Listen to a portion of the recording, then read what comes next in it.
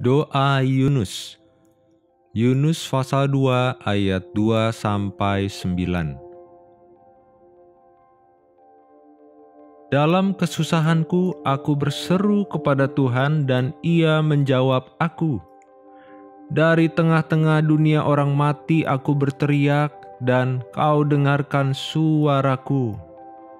Telah kau lemparkan aku ke tempat yang dalam, ke pusat lautan, lalu aku terangkum oleh arus air. Segala gelora dan gelombang-gelombangmu melingkupi aku, dan aku berkata, telah terusir aku dari hadapan matamu. Mungkinkah aku memandang lagi baitmu yang kudus? Segala air telah mengepung aku, mengancam nyawaku. Samudra raya merangkum aku, lumut lautan membelit kepalaku di dasar gunung-gunung.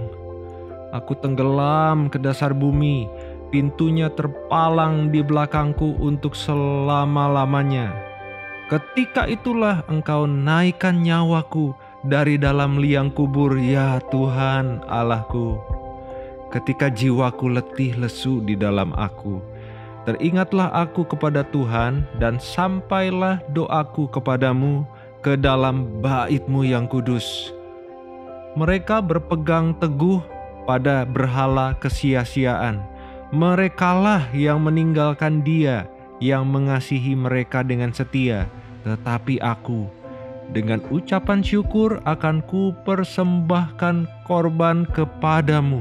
Apa yang ku nazarkan akan ku bayar. Keselamatan adalah dari Tuhan.